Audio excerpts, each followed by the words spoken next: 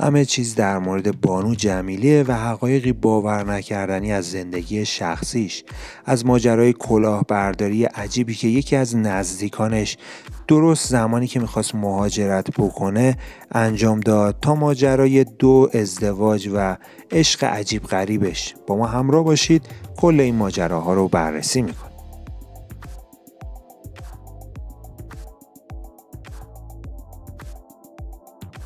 سلام دوستان به کانال هاشیه تیوی خیلی خوش اومدید. امیدوارم حالتون خوب باشه.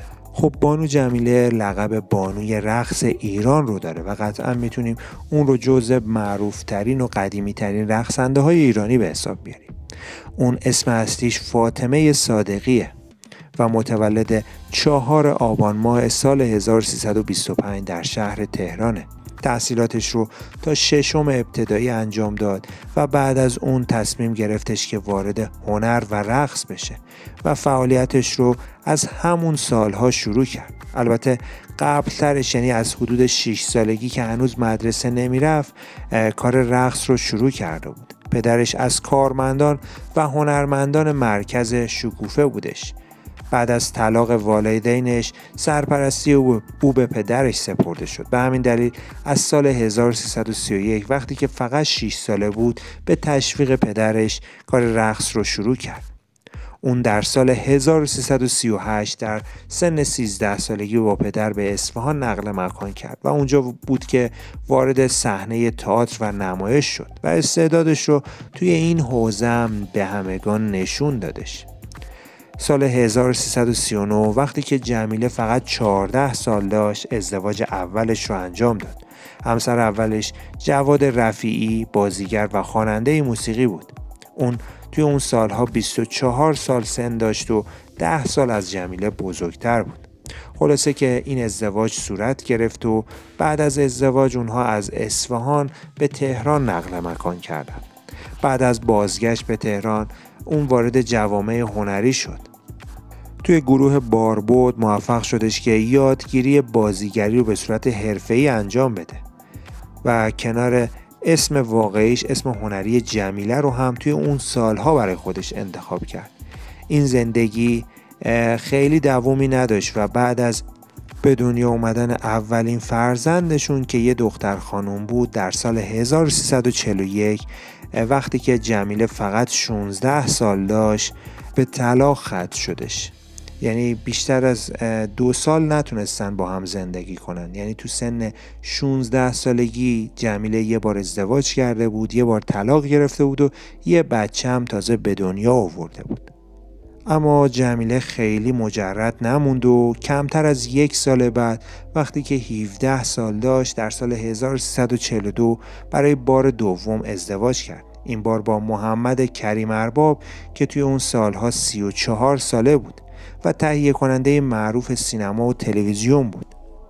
یعنی اختلاف سنی جمیله با همسر اولش 10 سال بود با همسر دومش تقریبا 17 سال اختلاف سنی داشتن. ثمره این ازدواج هم یه فرزند دختر دیگه بود که آزیتا نام داشت. شاید الان پیش بینی کردید که احتمالا با این اختلاف سنی جمیله با همسر دومش این ازدواج هم سریع به طلاق ختم میشه. ولی خب اشتباه می‌کنید. جمیله زندگی خیلی خوب و شاد و موفقی رو در کنار همسر دومش داشت و ده سال هم کنار هم گذروندن. ولی متاسفانه ده سال بعد شوهرش در سن حدودا 47 سالگی بر سر سکته ناگهان از دنیا رفتش.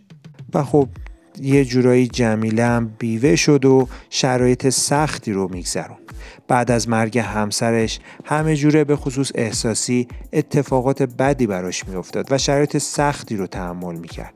هنوز بعد از گذشت این همه سال هم جمیله از عشق اولش با احساس صحبت می‌کنه و وقتی که صحبت آقای ارباب میشه یه مقدار احساساتی میشه و اش روی چشاش میاد. و خب همین عشقش به همسر دومش هم بودش که بعد از اون ترجیح داد هیچ وقت ازدواج نکنه و همچنان هم بدون شوهر هستش. جمیله در سال 1346 وقتی که 21 ساله بود به حمایت همین همسر دومش با فیلم نسیم ایار وارد دنیای بازیگری شد جمیله از سال 1346 تا 1355 در نزدیک به 20 فیلم حضور داشت و رکورد قابل قبولی رو از خودش به ثبت رسون. جمیله در سال 1335 بعد از مرگ همسرش وقتی که فقط سی سال سن داشت تصمیم گرفتش کار رقص رو ادامه بده و در نهایت سال 1356 به خاطر تحصیل فرزندانش ابتدا به انگلیس رفت و در نهایت هم از انگلستان به آمریکا مهاجرت کرد. بعدش هم که انقلاب شد و دیگه هیچ وقت نتونست به ایران برگرده. جمیله راجع به شرایطش تو اون سالها میگه که وضع مالیش به شدت خوب بود و سرمایه کلانی رو از ایران برای به خارج از کشور برده بود و مهاجرتش با دست پر بود. اما به خاطر اعتمادی که به یکی از دوستانش کرد و کلاهبرداری که از اون شد تمام پولهاش به نام شخص دیگری در بانک سرمایه گذاری شد. بعدا هم به خاطر اینکه سرمایه گذاری ها به نام جمیله نبود نتونست اون پول ها رو پس بگیره و میشه گفت زحماتش توی تمام این سالها و ارسی که از همسر دومش به دست آورده بود همه و همه از بین رفت و جمیله و فرزنداش از صفر دوباره شروع کرد. اما توی یکی دو سال اخیر بارها شده از سمت رسانه های مختلف به خصوص رسانه های داخلی حجمه های شدیدی رو نسبت به جمیله وارد شده. خیلی ها اون رو فاحشه خطاب کردن و با الفاظ بدی اون رو صدا کردن. همین باعث شد که خیلی از هنرمندا نسبت به این ماجرا واکنش نشون بدن و به حمایت از جمیله بپردازن. توی فروردین ماه سال 97 بود که پرویز پرستویی با انتشار ویدیوی نوشت این خانم قبل از انقلاب بازیگر و رقصنده معروف سینما بوده. ببینید در قربت از قصه به چه روزی افتاده. کاش کاری می‌کردیم که از سرزمین مادریش نمی‌رفت. خیلی از بزرگان سینما مثل بهروز وسوقی رفتن و اختلاسگران همچنان هستند و خواهند بود. خدا میبخشد ولی ما نمیبخشیم. در سال 1398 در 13 آذر خبری توی رسانه های مختلف پخش شد که به شدت هم وایرال شد و اون خبر ماجرای فوت بانو جمیله در سن 73 سالگی بود. اما ساعتی بعد آزیتا ارباب دختر خانم جمیله خبر فوت مادرش رو تکسیب کرد و گفت که مادرم در سلامتی کامله و هیچ اتفاقی هم براش نیفتاده. خب دوستان این بودش بیوگرافی کوتاهی از بانو جمیلی جمیله بانوی رقص ایران.